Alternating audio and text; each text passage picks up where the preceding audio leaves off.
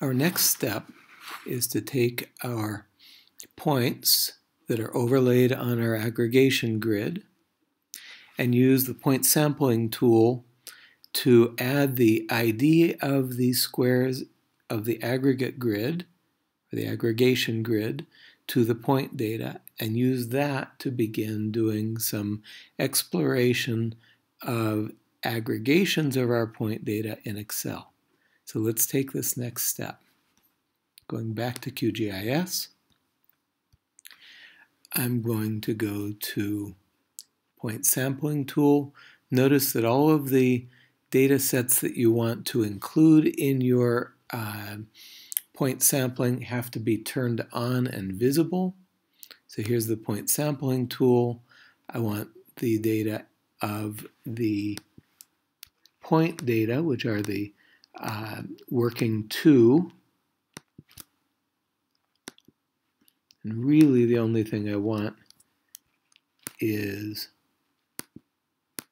the species name and the timestamp.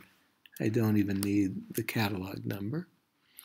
And then I need this. This is the ID field of the aggregation grid that we just created. And now I'm going to call this another shapefile.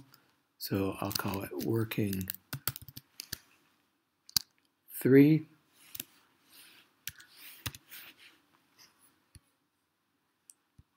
Save it hit OK.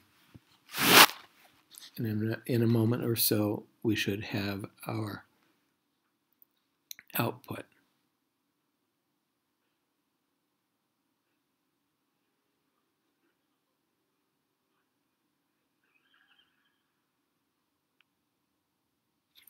All done.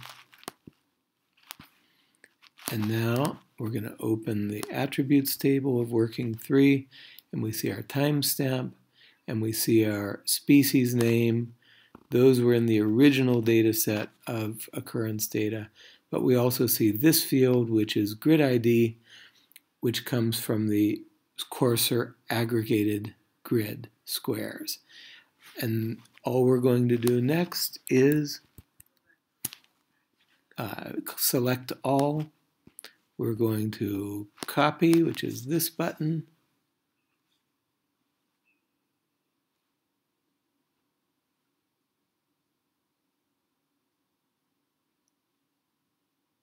And in the next movie, we will start playing with this in Excel.